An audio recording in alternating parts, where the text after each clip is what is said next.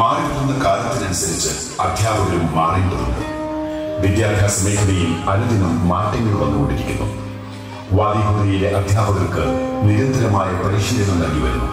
വിദഗ്ധ പരിശീലകരാൽ നൽകപ്പെടുന്ന teachers empowerment പ്രോഗ്രാമുകൾ അധ്യാപകരുടെ നൈപുണ്യ വികസനത്തിനും ആത്മവിശ്വാസം വർദ്ധിപ്പിക്കുന്നതിനും സഹായിക്കുന്നു.